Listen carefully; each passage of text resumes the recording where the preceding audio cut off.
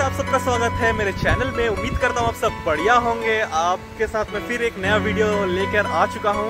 ये एक्चुअली आप बोल सकते हो चैनपुर का सेकेंड पार्ट ही है। एक्चुअली एक भाई था, मेरे वीडियो में कमेंट कर रहा था कि चैनपुर का और एक पार्ट लेके आइए।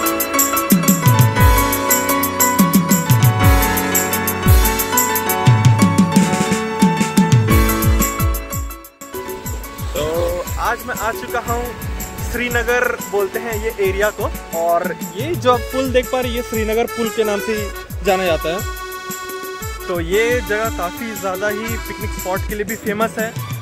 और अभी खैर नवंबर का महीना चल रहा है, दिसंबर और जनवरी से तो फिर पिकनिक स्टार्ट होगा। तो मैंने सोचा क्यों ना ये कवर किया जाए। यहाँ के लोगों के लिए तो ये आम बात है मतलब सब जानते ही है। बट मैं दूर वालों के लिए बोल रहा हूँ कि किन्हीं को रहता है कि कहीं दूर दूर से आए। तो चैनपुर से आप आइएगा तो मैं डिटेल्स दे दूँगा यहाँ पर कैसे आना है। पर यहाँ का एक बार खूबसूरती देखिए, कितना मतलब सुंदर आपको व्यू मिलेगा। हर जगह पानी बह रहा है, चट्टान से मतलब पूरा बालू है। बहुत अच्छा जगह लग रहा होगा। और जैसे ये नदी आप देख पा रहे हैं, मैंने आपको अगर अगर आपने मेरा पिछले वीडियो देखा होगा तो मैंने अपना गाँव का सीन दिखाया था। और यही जो नदी है संख नदी ये हम लोग के गाँव को क्रॉस करते हुए जा रही है। ऐसा है कुछ सीन यहाँ पे। और ज़रूर से यहाँ पे आइए विज़िट करिए इन्जॉय करिए प्लेस को।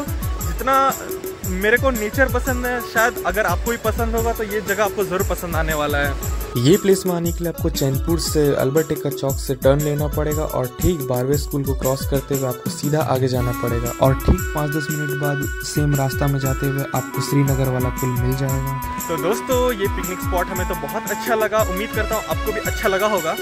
और अभी मैं आपको नेक्स्ट प्लेस जो लेके चलता हूँ यहीं से थोड़ा दूर में ही है, जिसको नौगे डैम बोलते हैं। नौगे जो एरिया है, वहीं पे वो डैम है। चैनपुर के लिए वो फ़ेमस है।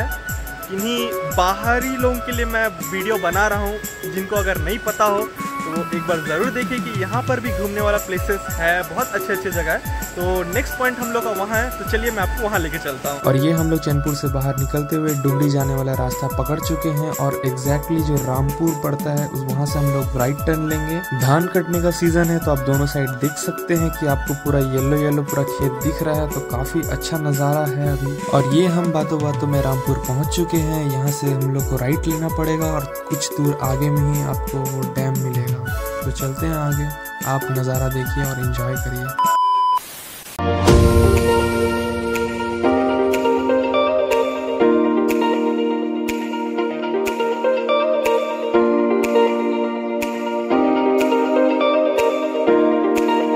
A few moments later.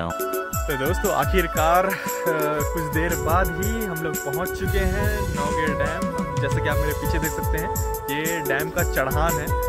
तो अभी मैं आपको उधर लेके चलता हूँ। और जैसे कि आप सामने का नज़ारा देख सकते हैं, पूरा चढ़ान कैसा है तो जस्ट उसके उस पार आपको पानी मिलेगा। तो चलिए मैं आपको लेके चलता हूँ और आगे का नज़ारा दिखाता हूँ, देखता हूँ यहाँ का खूबसूरती कैसा है और आपके साथ शेयर करता हूँ। तो दोस्तों, जैसा कि आप सामने देख सकते हैं एग्जैक्टली exactly वो नीचे में अगर आपको बाइक दिख रहा होगा, ठीक वहीं से हम लोग ऊपर चढ़ते हुए आए, इतना सारा सीढ़ी चढ़ना पड़ा, फिर जाके हम लोग ऊपर पहुँचे हैं। दोस्तों तो जैसा कि आप सामने देख सकते हैं, हम लोग एग्जैक्टली नौगे डैम के सामने पहुँच चुके हैं और काफ़ी ज़्यादा सुंदर नज़ारा आपको दिख रहा होगा और काफ़ी तेज़ हवा भी चल रही है। तो यहाँ जो पूरा एरिया है, पूरा अप्रॉक्स थ्री पार्ट में तो पूरा ही जंगल से घिरा हुआ है डैम और एक साइड बस ओपन है, जहाँ से हम लोग चढ़ के आए।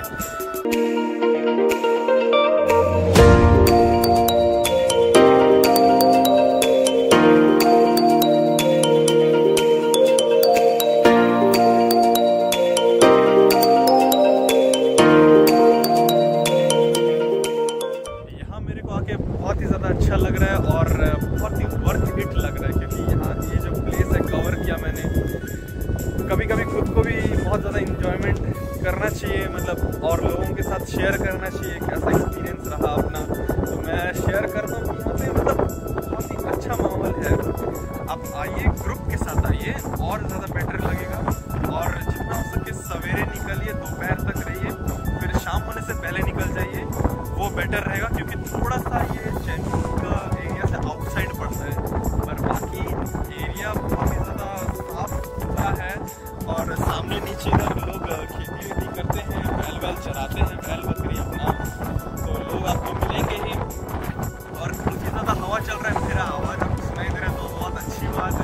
A few inches later. हमारा डैम घूमना तो हो गया, काफ़ी ज़्यादा अच्छा लगा यहाँ टाइम स्पेंड करके। उम्मीद करते हैं आपको भी अच्छा लगा होगा वीडियो और अगर अच्छा लगा है तो keep loving keep supporting thank you